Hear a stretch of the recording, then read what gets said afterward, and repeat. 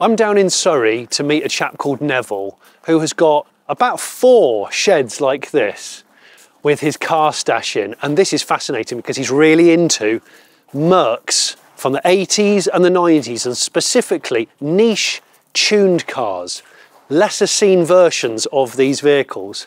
And we've got a lot of cars to talk about today. I can't wait. There's also a smattering of American muscle and hot roddy stuff because that's what started Neville's obsession with cars. So without further ado, let's crack on with a Car Cave episode of The Late Brake Show. I'm Jonny Smith.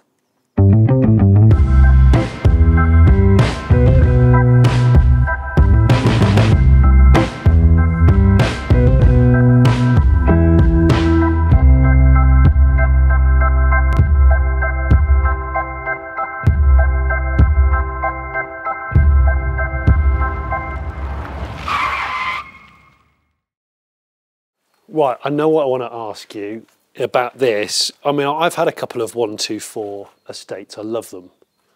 What is Auto Fashion Factory Spirit? That's what I want to know what that is. I've seen it here, I've seen it there. What's the deal? So, Auto Fashion Factory were a tuner uh, and are a tuner still going to this day, um, based in Nagoya in uh, Tokyo or on the outskirts of Tokyo. Um, started in the sort of late 90s, specialising in um, W124s. Really? Putting, okay. putting heavy emphasis on um, E60 conversions, essentially. I, I started getting into, uh, with the AMG connection, or all the um, the Japanese tuning magazines, and, and these guys continually would surface to the top and and inspire um, conversions because they take conversions to a different limit. You, you're looking at this one, which is a 36. Well, it's not actually a 36, it's a 320T. Okay. Uh, and um, I have a sister E50 or E6, E50, E500, sorry, limited over Yep. there, which we'll look at a bit later. Um, and I've done these as essentially as tribute cars, taking Okay. the inspiration from what the Auto Fashion Factory did Yeah. The minor modifications, and this one's a work in progress currently. As you can see, the interior's pretty much there. Interior is spectacular. Actually has an E60 limited um, central console, which is very rare and very valuable. I've never seen so many adjustable um, positions on a Recaro seat. Yeah, a nice set of, uh, of Recaros in Seriously. there. They were added. Uh, steering wheel was added, and um, then That's mega. We've done a few. We've done a few mods. The wheels, put a, an AMG suspension on it, shocks and springs, all correct. Um, rear exhaust, obviously, and then the general idea. The next stage will be to wide body it Really? okay. um, and put a wide body kit on it. We have a set of uh, AMG uh, front wings in fiberglass, which came from Japan specifically for it. Really? And it's Wow. a case of trying to find a set of sills, probably E500 sills, and then the rear will be custom built. Uh, probably English wheel, the arches, and roller them Yeah. so they'll they'll look rather nice. And then we're sort of there really with this one. It's all very Japanese tuning spec, complete with, With- the mad stickers. I was going to say there's loads of stickers everywhere I look. Um, that's what they do. You know, you name it, they made a sticker for it. and uh, some of the stickers you just couldn't even believe. It was completely bonkers. And so I took great uh, uh, great pleasure in sort of putting them in the right places, following the magazine articles, and and I think I've built a, p- a pretty good pair of tribute cars. I think, yeah. And you collect the literature as well. I do, I do. now Neville, 190E, one of quite a few that you own. So this this is a Cosworth? This is a Cosworth with a Mosselman single turbo conversion, which makes it incredibly quick. So as you can see, massive turbo on the left, yeah. which was on the car when I bought it, and that was the main reason for buying it. As the general idea for this one was to do a wide body conversion uh, to a 190e spec, and um, I thought it would make a great engine. Hence why I managed to find the the power pack emblem in the middle, which is nothing more than uh, than a, um, uh, an AMG uh, pointer, but it is real and it is cast iron and it's quite a rare piece. They, I think they did those on the Evo 2 as a, for a few options. Yeah. Um, Absolutely love the interior on this. It's yeah, it's lovely. I have a pair of Recaro classics with the dog tooth or hound tooth, whatever that particular insert is. Yeah. Which I thought would have looked rather nice in there. And, back seats. um, those separate buckets look yeah, amazing. yeah, yeah, very, very good. I think they were Recaros. They're all Recaros. I reckon but, they uh, are. Made specifically for uh, Mercedes. But um, manual, manual. so yeah, manual. I'm not a great fan of manuals. Um, to be honest, it's probably another thing that put me off. But I must be honest, when you drive a manual in with a, with the turbo, it's it's a better Yeah. it's a better thing. Now, hang on. Is this another 190? It is, isn't it? This is a just- 192.6, Yeah. um, converted by Matty Charlesworth, five star automotive, as was, as maybe still, uh, down in Bristol. He built the car. Um, it came uh, from Kent, built for a lady. Lovely interior, AMG genuine kit, and then I managed to find a brand new boxed suspension system for her, so AMG shocks and springs Really? are on this one.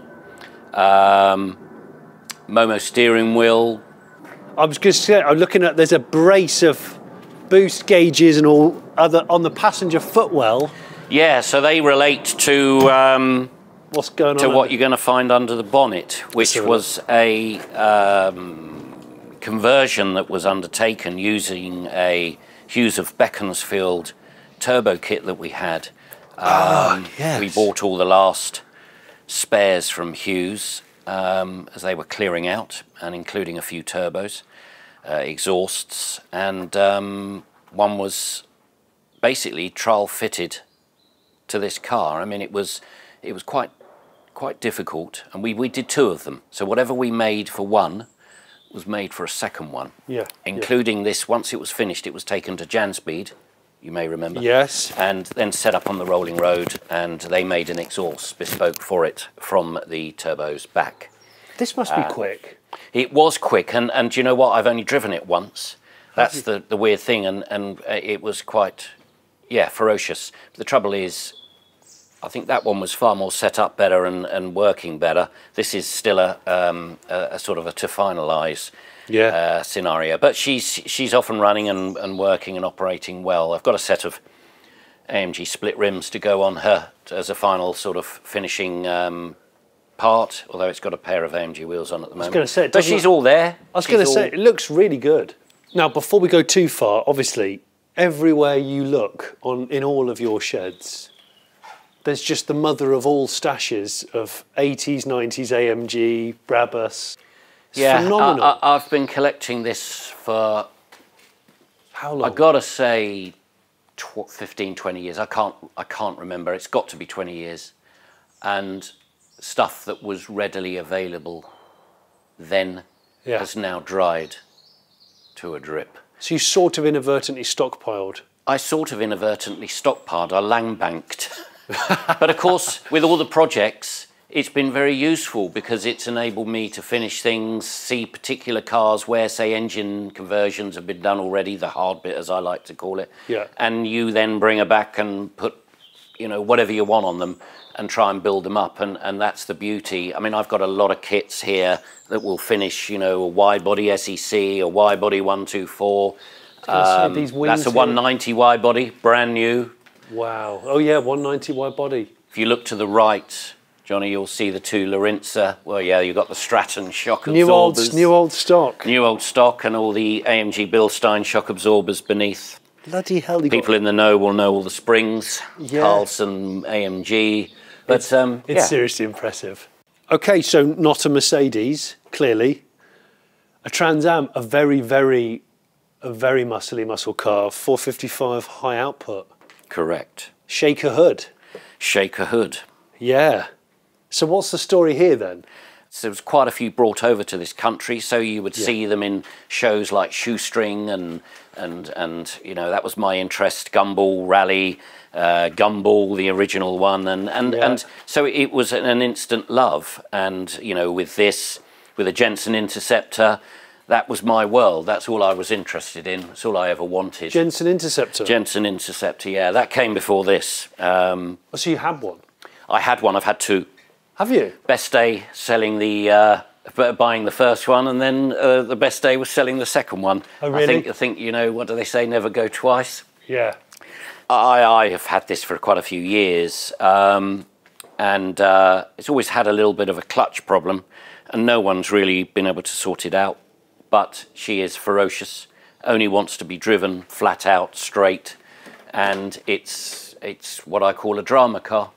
It is a drama is a car. drama car. It's larger than life. It's like manual. We took it to the Red Hill Cruise this year, which is organised by Dream Cars. They do that annually, Yeah. and we were sort of uh, juddering, juddering around Red Hill in it, uh, which is the best way to describe it. We sort of did the evening and got home, and that's about it, really. It, it's How long not have you the- had it? Have you had this a long I've had it since early 2000s. That's and I had to jump on the bandwagon because they were starting to increase in value. Yeah. And much as I didn't want a manual, uh, I had to go manual because that's all that was out there.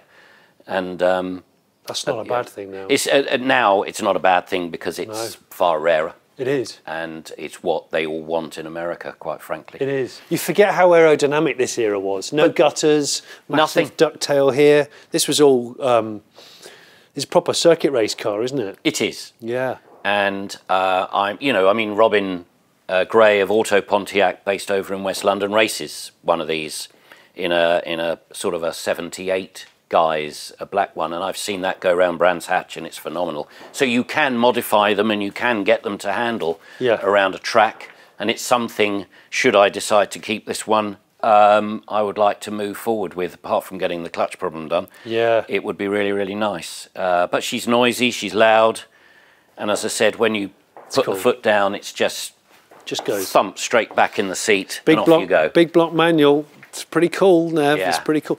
When did you own your Interceptor? Uh, I was 18 years old, and um, You were 18 and you had a Jensen Interceptor. yeah, I could, I, bit I, cool. I, I could afford to insure it through, and I'm going to name drop Norwich Union. Thank you for that, because they would allow you to put on your mini policy a three month edition to enable you to drive any car. what? And uh, so when we were at college, we had it a couple of times. We had a bit of fun with it, and uh, it was beautiful. I loved it. It was it, it was a, a high compression Inceptor, so it was a 7.2 with the high compression engine in, and it just drove lovely. Um, nothing like this, and I just loved it. And then I, I had a little, should we just say a little incident, and um, was never going to be able to insure it again. So we had okay, to okay. part company, Right. and that was uh, that was the end of it. And uh, so it went, and it's still around though, still around, and it's it was uh, uh, taxed last year. So Crumbs, okay. whoever owns NAC 14M, there you go. That's the uh, that's the car, and I think it's down in um, Essex somewhere. It certainly was anyway. Uh, where it is now, I don't know.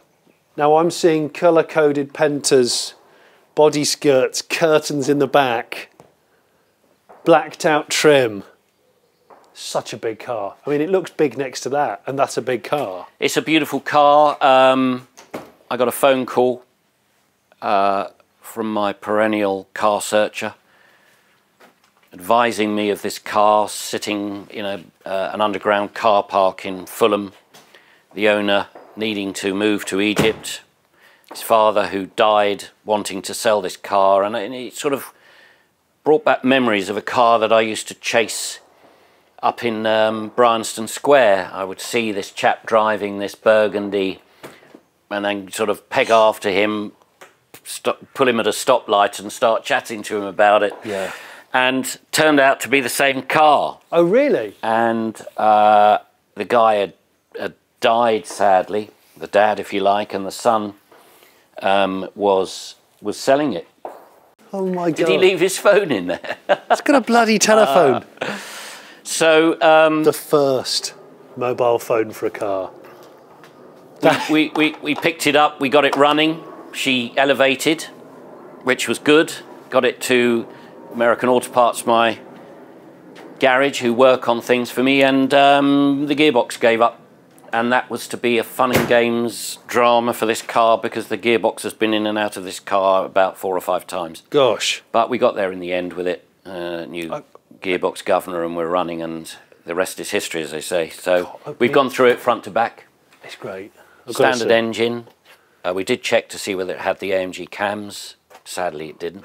Okay. But uh, you know, Looks it is in what good it shape, is. though. This thing looks in good shape. it's a nice, nice engine. It's not not done many miles. She's all running. There's the uh, hydraulic lift up. So you pull pull a choke, and it Ah, there, right. lifts, lifts the car up, and you drop the choke, and it drops her down. So it looks quite good. You can sort of do your own leveling. So you can't put an AMG suspension on this. Right, That's the only downside Okay. uh, because it is all hydraulic. And You've, um, you've got others, though, haven't you? I've yeah, I've got others. So Talking of which, let's go to another shed. okay. Now, although this is a car cave episode of the Late Brake Show, here at Neville's we ended up filming on the same day a barn find episode. Because in here is an exceptionally cool Mercedes, probably his coolest, I think, that hadn't been started or used in about 20 years and it's all dusty. And he said, Oh, do you want to help me maybe see if we can get it washed and started? And I said, Hell yeah. But I won't put it in this episode. If it's already gone out, I'll put it above my head now. If not, keep an eye on our social media on the Late Brake Show and you'll find out all about it. But rest assured, it's wide bodied, it's 80s, it's fat.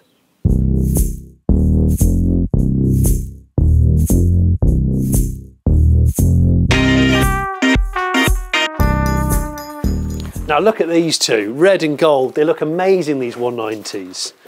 This one first then, Nev. So Brabus, or Brabus evoca- evocation, evocation is that the correct word? Um, this was my first uh, car, my first foray into the Mercedes world.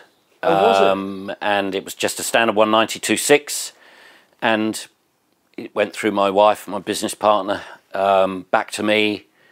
Didn't know what to do with it, so we had started collecting Brabus parts, and um, we built a, a, a 192.6 Brabus, for want of a better word. So you've had it a long time. I've had it since I was 26, Gosh, okay, so okay. 32 years. Wow. Uh, so we, we basically front spoiler, correct shocks and springs, the Yeah. runner blocks, the wheels you can see.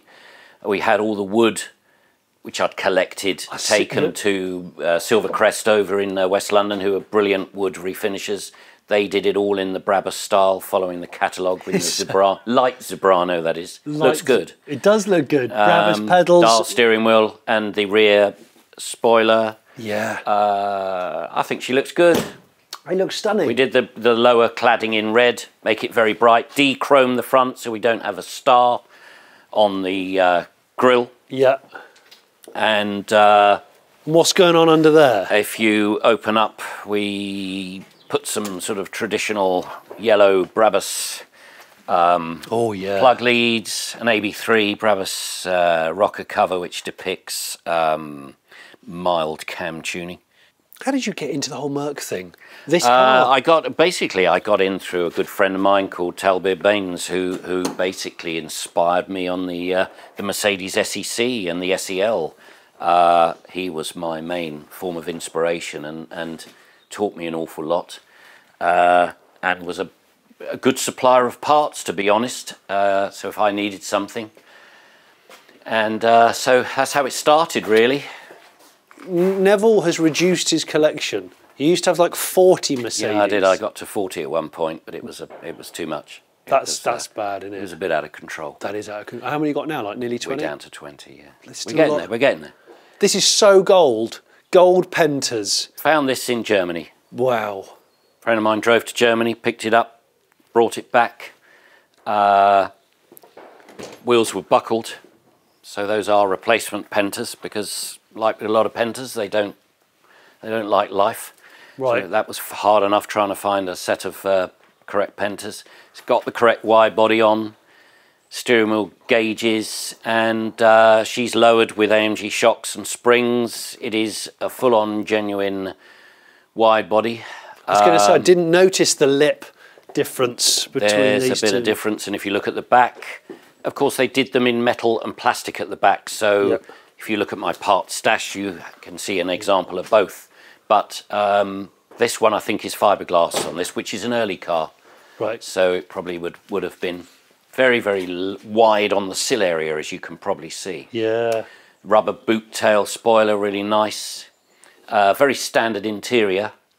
and then of course the pièce de résistance is the um, what's under the bonnet, as they say, because this has been fitted with a Mosselman period turbo, which was done by Alex, A Mosselman mine, single turbo. Basically, took this off a car that we um, that we found and uh, basically re-engineered it back, complete with the microdynamics Look at that turbo systems. management. So the last thing to do on this is to put an exhaust on it, and then we're ready to rock and roll. But this is this one's done, and, and it's it's it's very nice. That's You cool. know, ready to go. What's the story with this one, Neville? This is obviously in progress. It's dusty. It was bought to do an AMG SEL, and then I found the unicorn of a full Brabus kit, which I'd been searching for, uh, and then decided I'm going to go full on Brabus with it to go with the 190, the 124, which we'll look at, and this one. Um, so I went over to West London. It was a beautiful car, 50,000 miles on the clockish and it was everything I needed. And then when I looked in the uh, glove box, I knew I had to have it. So the AA breakdown cover card. HRH Prince Nawaf Abdulaziz. Yeah. Okay. so So it was a Saudi embassy car, yeah. Royal Highness, Wow. That's a bit cool. one of the Arab princes. I presume used as for diplomatic purposes out of uh, Berkeley Square. But it, it, it's it's a it's a nice backstory because I owned also owned his car, which was a, a, a Gullwing SEC, and it was exactly the same uh, you same were, chap. you yeah. owned a Gullwing SEC. Yeah, sadly gone now, but uh, yeah, we owned uh, had that for a short while. Right. So Albrecht supercharger, supercharger. part of a Nice. Mosselman kit, I assume. Um, basically, it's what Brabus used back in the day. So I managed to find a donor car that had that on. Right. So this is a 500. Did you say? This is a 500 Yeah. with the with the Mosselman supercharger. So. yeah. Nice. Um, that's where we are with that one. Uh, we've got a little bit of work on that one to finish, but we're work in progress. Shed three. Shed three. I, I am just walking past that classic Range Rover, although it's obviously in in progress, isn't it? It that- is, yeah. I mean, that's uh, quite a rare piece. That's a Litchfield five litre um, Range Rover built Oh. by TVR Power, Dom Trickett, Alan Vernon Nash back in the day. Nice. And um, it's uh, we're, we're currently basically rebuilding it because of the tinworm, Okay. which we've discovered. But it's uh, yeah, a very rare piece. Got a lot of rare parts on it. Harvey Bailey handling kit, Tom Walkinshaw racing, shrouding, and the roof spoiler. I saw the spoilers on the back there. A So you name it, it's got it on it. It was sort of used as a bit of a test piece, I think. So coupe one two four, four door saloon one two four, both silver. So this is a 124 Brabus evocation. Uh, Had a phone call from a chap in Germany totaled his Brabus, literally. Really. All the parts came off, were shipped here, and uh, we built Just got ourselves a- transplanted onto this. Yeah, we, we because this car originally came uh, as a uh, a Q car, so it was bog standard silver, Yeah. lowered with a Sportline suspension, Yeah. but of course it had what it had under the bonnet, which you'll see. A quick look. This is a this is a genuine Hughes of Beaconsfield uh, twin turbo installation, Oh, and so it made the perfect car to add all the Brabus parts to. little turbos, yeah. So we uh, we we put the uh, the Brabus body kit, the wheels. Came across a genuine set of shocks and springs. The full exhaust system is all genuine Brabus. Steering wheel, gear knob, you name it. It's yeah, there's know, the plaque. door tread plates, Yeah. I'm seeing similar traits to the the which again is my Auto Fashion Factory tribute. yeah. So this is an E500 Limited, uh, modified to a degree so that, well, we've got AMG split rims on her. Wide body. We've got a wide body which is standard. Um, we've got AMG boot spoiler. We have other modifications inside and um, I've managed to track down a set of AMG E60 springs. We've got an a- a- AMG E60 airbox on it when you have a look under. Oh, hello. Hello. Yeah, so this is uh, another of uh, of the um, Ultra Blue Leads AMG airbox. I mean, that was a That's a lovely dream to find that was in Ja- in Japan. That's from an E60. We've got the uh, the cross brace on there. The old uh, Auto Fashion Factory stickers. Yeah. You know, And, I, uh, I get the impression that the, the the thrill of the chase for you, finding the right like natty parts. yes, it is. As I said, it was it was doing a lot of research into what they used to do, and sort of I use the best term is uh, copying their uh, their style, and and um, you know, i- chance to ever go to Japan. I'd love to go and see it. I'd love to go there. I'd love to see their uh, setup. I'm um, not sure how prevalent. They seem to have gone into Porsche Cayennes a lot now, but they still still involved. But the days of the E60 conversions and the 36 conversions have stopped, from what I can work out. Yeah. And um, the cars are coming quite sought after if you can find them. But uh, Yeah, but so 381 PS, 580 newton meters. I bet it's a pretty quick car, though. it's a lovely quick. Yeah, it's five litre but it's very and quick. uh, goes really well. Next shed. This is an interesting car. I think Yeah. I know what it is, but it's it's not standard, is it, in any shape or form? No, this is a, a, a Ford Zodiac Executive Mark IV, um, Right. inspired uh, by a chap called John Payne who used to work at Caterham Cars back in the day, and he used to roll around in a white lowered Mark IV Executive with a three litre turbo nitrous uh, car with his buddy who had a Trans Am. Can see where it goes. So the, hang on, this is you as a this is This your is me as a kid on my childhood- bike. Yeah, right. going to look at the car park of Caterham cars because they all basically drove Yanks, all of them, uh, or a lot of them. Yeah. And uh, so in the car park, it was a veritable feast, and it was always good at four o'clock to go and have a little look around and dream, and then watch them as they used to drive home to Thornton Heath and wherever they lived. But basically, I always remember this car as a as a as a youngster, and got in touch with John Payne through a friend of mine, uh, and we talked about it, and he gave me a few of the ideas on what he did, and, and basically, chap called Dave Woodfield, who's uh, anyone in the hot rodding world will know, on the Zodiacs and Zephyrs, basically built it for me from scratch. Uh, It's well, a real from scratch, but but but you know, put it put it together. the period stickers around it and stuff are amazing. So this is like a window into your world as a kid. Yeah. Reading Custom Car Magazine and Street Machine. Correct. Chelsea Cruise, I'm guessing. Never went on the Chelsea cruise, funnily enough, but uh, would have loved to have gone. Yeah. And um, but yeah, these these were the sort of things that were there. I mean, I I, I found this in South London. Uh, Darren was the chap who owned it, and uh, met him and his mate in a lockup, and engine had already been done, so he's got a five nine Chrysler. Oh, has it? Um, the hard work, as I call it, and then we basically did the rest of it. Um, essentially, it was very rusty, so it had to be rebuilt. It's got a five nine, basically an AMX Javelin Yeah. uh, engine yeah. linked to a uh, Ford Mustang. Is it C4 transmission? Would that make sense? Yeah, the auto, three-speed it's auto. got a 3.1 um, RS Capri rear diff linked to Audi Quattro brakes. Would you believe? Really? On the rear, yeah, apparently so. I, I'm, I'm, I think Mer- that's about right. Yeah, Mercury Cougar light clusters, they're great. Put some Auto Meter gauges in, which you may have seen subtly behind the original. We've got a set of what I call Steve McQueen Torq Thrusts. I think they're called. Yeah. Aren't they? The the ubiquitous Mustang wheels, sprayed in Aston Martin Pentland green, which I quite liked. It's a great colour green. Saw that in High Park in uh, on one of their cars. Yeah. Right. Another 124. AM, a real AMG?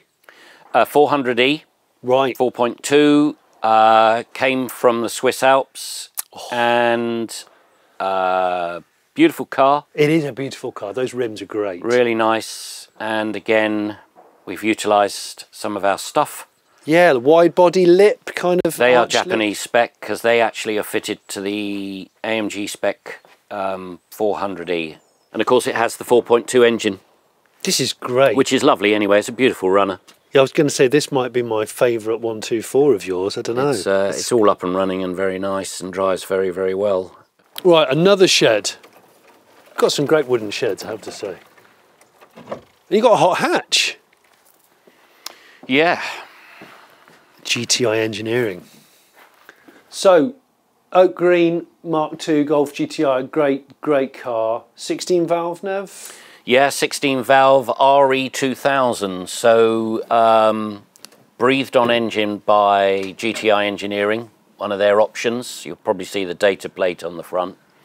Oh yeah. Um, yeah, 29th of March 1990. Yeah. So GTI Engineering were to Golf's what Stratton were to AMG, Yeah. um, a concessionaire selling basically bits and bobs to add on to your Golf. To I make it remember. I remember the magazine ads with these weird front grills They in. used to sell a plethora of body kits, you know, Zender, Kamei, Yeah. all sorts. This has got an Aerotech body kit, quite rare. This was uh, the Aerotech, which was their own in-house built kit, which was done by a Lotus engineer apparently. so it? it's probably the rarest and I think the nicest. It's got a Zender front, which you've probably seen, Yeah. and I can't tell you what the rear is. I think that's a Zender rear spoiler. so this is still being finished. This car. This is yeah, we got so far with it, um, and you got distracted. I got Yeah. distracted. Yeah, you know the scuff. We just need to uh, do a little bit of finishing on this one. They're all in the queue. It's been fantastic to watch uh, and listen to Nev's sort of life story in cars. I hope you've enjoyed this episode of uh, Car Caves on the Late Brake Show. Everything from that, which is kind of where the car love started for Neville, up to just so many different combinations of 80s and 90s tune works. I've, I've actually learnt a lot today. I really have. Very cool. I miss my 124 as well. If maybe you've got a car collection that you think is worthy of me coming to film, get in touch with us in the description. There's an email there. If you haven't already subscribed to the show, why not subscribe? Um, maybe you want to become a Patreon. I'll put the link in the description for that, and you can view videos like this typically early, and you'll get blogs from me a couple of times a week. That was a gunshot. It's time for me to go.